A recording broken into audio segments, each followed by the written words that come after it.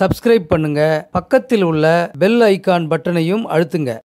சித்தர்கள் புகழ்பாடும் மருத்துவம் என்ற சேனல் வழியாக நிகழ்ச்சிகளை பார்த்து கொண்டிருக்கும் அன்பர்களுக்கு என்னுடைய பணிவான வணக்கத்தை தெரிவித்துக் கொள்கின்றேன். இன்றைக்கு முதல் தலைப்பாக கன்னி லக்கணம் உதாரணத்துக்கு எடுத்த லக்கணம் கன்னி லக்கணம் உபய லக்கணம். இந்த லக்கணத்தில் இந்த நாலு மூளையும் உபயம்தான். கன்னியும் உபயம் தனுசு உபயம் மீனம் உபயம் மிதுனம் உபயம் இந்த உபய லக்கணத்துக்கெல்லாம் கொஞ்சம் ஜாகிரதையாக நம்ம பார்க்கணும். ஏன்னு சொன்னால் ஏழாம் அதிபதி பாதகாதிபதி ஆவார். அப்படி பார்க்கிற போது ஏழாம் அதிபதி புதனும் குருவும் தான் ஆவார். இந்த புதனும் குருவும் தான் இவர்களுக்கு பாதகாதிபதி. இப்போ இங்கே கன்னி வந்து உபய லக்கணத்தில் நம்ம பார்க்குறோம். ஏழாம் அதிபதி குரு அவர் தான் பாதகாதிபதி. அவர் மீனத்தில் இருப்பதாக வைத்துக்கொள்வோம் கன்னிலக்கணக்காரருக்கு இப்போ குரு எங்கே இருக்கிறாருன்னு சொன்னால் மீனலக்கணத்தில் இருக்கிறாரு. அதோட கூட புதனும் இருக்கிறார். லக்னாதிபதி புதனும் இருக்கிறார்.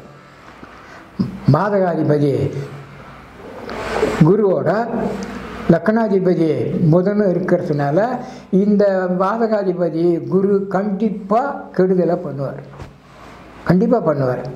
தீய பலரை கண்டிப்பாக கொடுத்துடுவார் என்ன நடக்கும்னா இவருக்கும் கலத்திரம் பாதிக்கும். இது வந்து நான் எந்த லக்கணமாக இருந்தாலும் ஏழாம் அதிபதி ஏழுலே இருக்கக்கூடாதுன்னு பலமுறை சொல்லியிருக்கிறேன். ஏழாம் அதிபதி ஏழுலே இருக்கக்கூடாது. ஏழாம் அதிபதி லக்கணத்தில் இருக்கக்கூடாது. இருந்தால் இல்வாழ்க்கை அமையாது. கலத்திரம் பாதிக்கும். உதாரணத்துக்கு ஒரு மிதுன லக்கணத்தில் தான் நம்முடைய முன்னாள் முதல்வர் ஜெயலலிதா அம்மா பிறந்தவங்க. மிதுன லக்கணம் ஏழாம் அதிபதி தான் குரு. அவர் பாதகாதிபதி. அவர் வந்து ஏழுலே இருக்கிறார் இந்த தனுசுலேயே இருக்கிறார் அவர். அவர் என்ன பண்ணிட்டாரு பாதகாதிபதிக்காக அவர் அங்கே தனுஷில் இருந்த காரணத்தில் அந்த அம்மாவுக்கு வாழ்க்கையே அமையாது பண்ணிட்டார் அவர் பண்ண கூத்து அது. பாதகாதி பண்ண கூத்து தான் அது.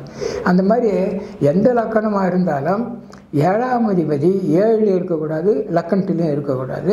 நீங்கள் ஒன்றா பல முறை பல உதாரண ஜாதகத்தில் எடுத்து பாருங்கள் இந்த கலையை நல்லா தேர்ச்சி பெறணும்னா நிறைய ஜாதகங்களை சேகரித்து நம்ம சொல்லக்கூடிய பலன்லாம் எத்தனை பேருக்கு ஒத்து வருது? தப்பாக இருக்குதா? இப்போ நான் சில பேர் சொன்ன பலன் தப்பாக இருக்கிறது தான் நான் இந்த தலைப்பையை எடுத்தேன். அப்படியே மூடாந்தரமாக சொல்கிறாங்க பாதகாதிபதி பாதகத்தான் செய்வார்.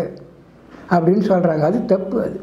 அதுக்காக தான் இந்த தலைப்பு எடுத்தேன் இதுவரையெல்லாம் இந்த தொகுப்பு நிகழ்ச்சி தொகுப்பை பார்த்து கொண்டு இருந்த நேயர்களுக்கு ஏதாவது ஒரு ஐயப்பாடு இருந்து நான் சொல்லக்கூடிய அந்த பலன் தவறுகளாக இருந்தால் கூட தொடர்பு கொண்டால் அதுக்கு சரியான விளக்கம் கொடுக்கலாம். வேறு ஏதாவது உங்களுக்கு ஜாதகத்தை பற்றி கேட்க கேட்க வேண்டுமென்றால் பொறுமையாக பேசுங்க. அவசரமாக பேசாதீங்க. எந்த ஊர்லேருந்து பேசுகிறீங்க என்ன பேர்? பொறுமையாக சொன்னீங்கன்னா நான் ஃபோன்லேயே உங்களுக்கு நான் எந்த பலனையும் எதிர்பார்க்கல. யாருக்கிட்டையும் எது எதிர்பார்க்கல. உங்களுக்கு பலனை வந்து நான் ஃபோன்லேயே தொலைபேசியிலே நான் சொல்லுவேன். அதனால் இதோட இந்த நிகழ்ச்சியை நிறைவு செய்து கொண்டு ம- வணக்கத்துடன் முடித்து விடுவேன்